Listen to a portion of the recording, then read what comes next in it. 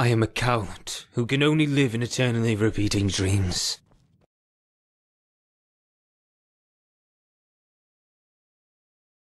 My name is Molag Bal, Prince of Domination and Enslavement, the one who burns his own soul and curses the world of the Divines.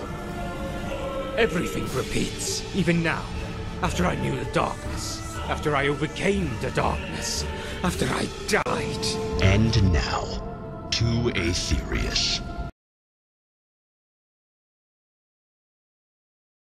The plane everyone dreams of. On this day, Aetherius I tried burns. so hard and got so far.